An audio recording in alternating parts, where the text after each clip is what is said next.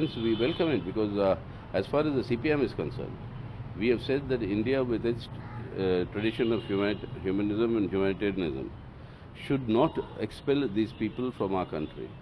When Bangladesh is saying that they are not their citizens, when Myanmar is saying that they are not their citizens, these are people as human beings, they should be taken care of. So we have said that our position is the government of India must approach the United Nations agencies.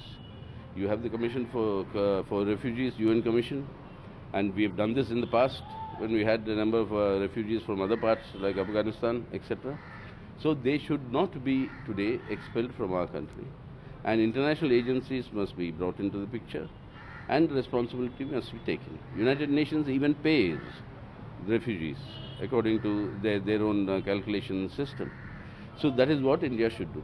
I'm glad if the National Human Rights Commission also has come to a similar conclusion, which is very good, and we hope that the government uh, in the center and the states, and very disturbing news is appearing from the state governments of Assam and Manipur. And I hope uh, that the government will be able to take a proper decision in the spirit of what India has always meant to the world.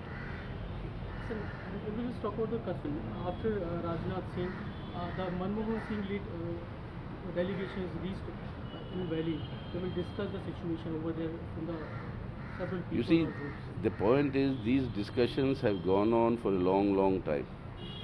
But nothing substantial or tangible is appearing on the ground. It is the most unfortunate thing. And it's, it, has, it will have very tragic consequences if the government today does not address this issue with the urgency that is required. Urgency does not mean visiting.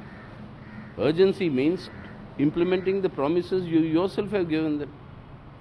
When Mr. Rajnath Singh led the all party delegation, after returning, we came to two conclusions, which Mr. Rajnath Singh himself announced to the whole country that immediately we will take confidence building measures and uh, immediately we'll start the pro- political process of a dialogue with all the stakeholders.